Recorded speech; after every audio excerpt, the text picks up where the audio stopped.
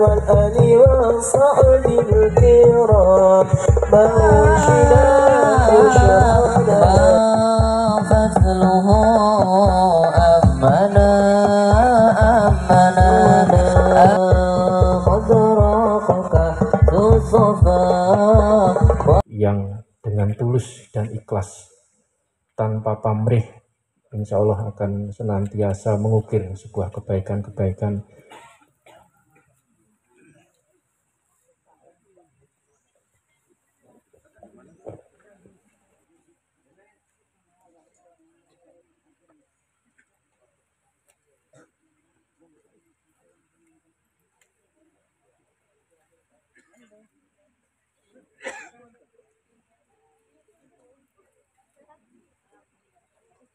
Kami persilahkan kepada Bapak Heri Susanto Eskom. hidupnya yaitu untuk umat insya Allah.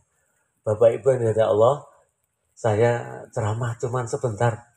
Karena pekerjaan saya ceramah. Ya Allah ganti 10 miliar ya Allah.